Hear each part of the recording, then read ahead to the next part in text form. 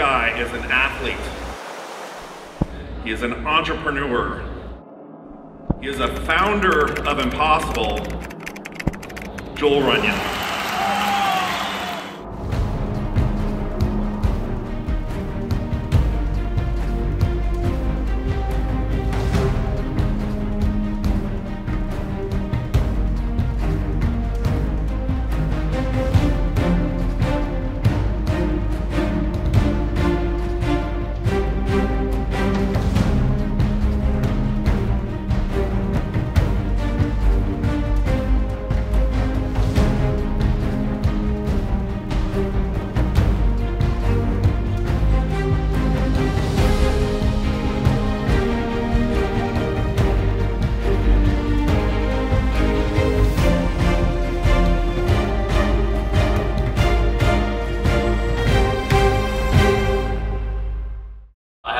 Of people saying, hey, what's going on with Pencils of Promise? What's going on with 777? Like, is it still on? Are you quitting? Are you giving up? And I told them, you know, people over and over and over again that, you know, my philosophy is that if I say I'm going to do something, it's already done.